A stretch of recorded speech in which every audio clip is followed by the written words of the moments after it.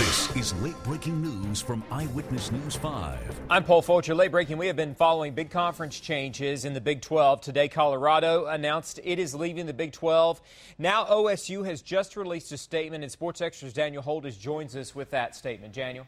Paul, thanks a lot. Uh, TMZ.com reported earlier today that Oklahoma State will indeed join the Pac 10 conference. I spoke with OSU officials earlier this afternoon. They refuted that story and they further made their point by releasing this statement. Let's take a look. This is from Gary Shutt, Oklahoma State University Director of Communications. Quote, the report circulating about an immediate announcement today concerning Oklahoma State University and conference realignment is without merit.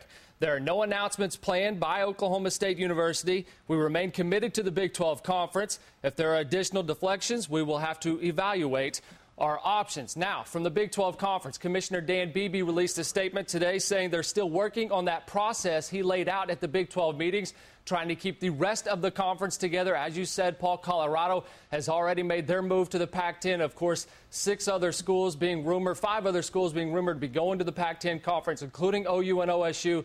I spoke with the University of Oklahoma officials today. They said they will have no comment, no further statement. Of course, they said everything can change as this story is just making more and more moves hour after hour. We'll continue to track this and have more throughout the day. Paul. Okay, Daniel. Again, Sports Extra is going to be on it all afternoon. We'll break in if we need to, and we will, of course, have the latest on Eyewitness News 5 at 5 and 6 o'clock, as well as KOCO.com.